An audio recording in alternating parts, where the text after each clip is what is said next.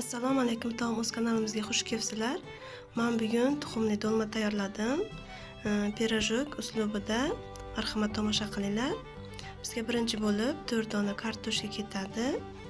Ozginagina tayyorlaymiz. Mana buni mm, gulli pichog'imizda mana chiroyli qilib shakl berib to'rg'ab oldik. Bir donagina qizil bulg'or qalampiri ketadi. Buni ham kubik shaklida to'rg'ab chiqamiz. Endi mana uch dona piyoz e, ikki donasi qaylasiga ketadi. E, mana bir donasini mayda qilib to'rg'ab olamiz. Buni go'shtli qiymamiz ichiga sovoramiz yaxshilab buni maydalab yuboramiz bir donasini.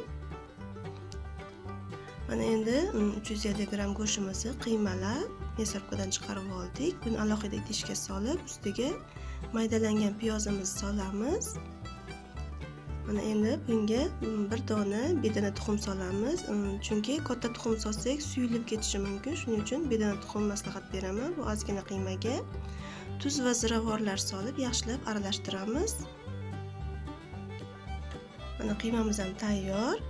Endi mana bedana tuxumlar pishirib olganmiz suvda. Olti dona yetadi.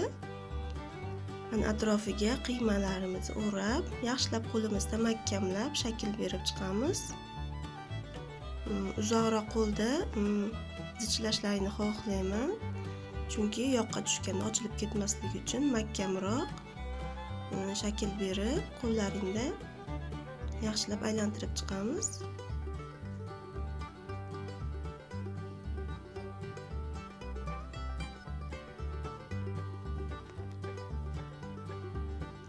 Mana yaxshilab mahkam qilib dumaloq shaklga keltirib oldik.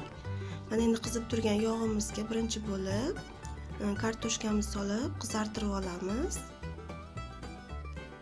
Do'lmalarimizni solmaymiz chunki uni ichidan qiymalarimiz piyozlar tushib e, yog'imizni rangini o'zgartirib qo'yishi mumkin. Shuning uchun birinchi bo'lib kartoshkamizni qizartirib olamiz. Mana endi kartoshkamiz tayyor bo'lgandan keyin do'lmalarimizni solib qizartirib olamiz bularni ham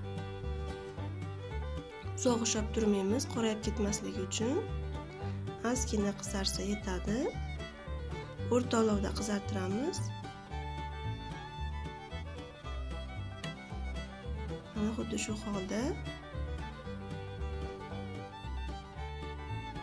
Mana yana bir bor ko'rsatib o'taman.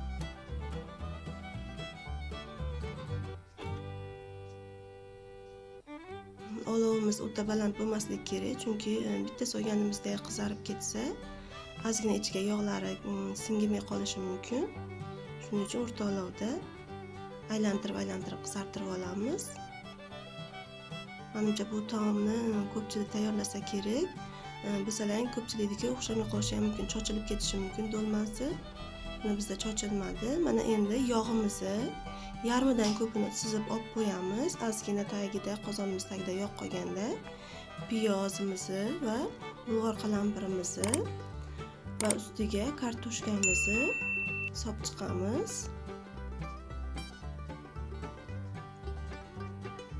Mana bir tekisda qilib terib tayyor qilib olamiz endi bunga tabga ko'ra tuz solamiz.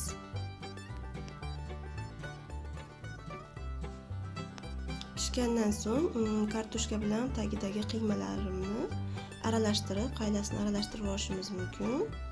Tuzlari bir biriga kirish uchun buni ustiga do'lmalar terib qo'yamiz.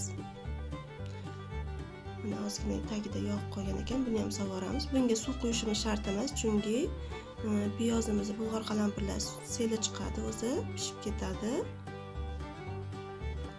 Mana pishib tayyor bo'lgan holi judayam mazali va yumshoq bo'lib tayyor bo'ldi.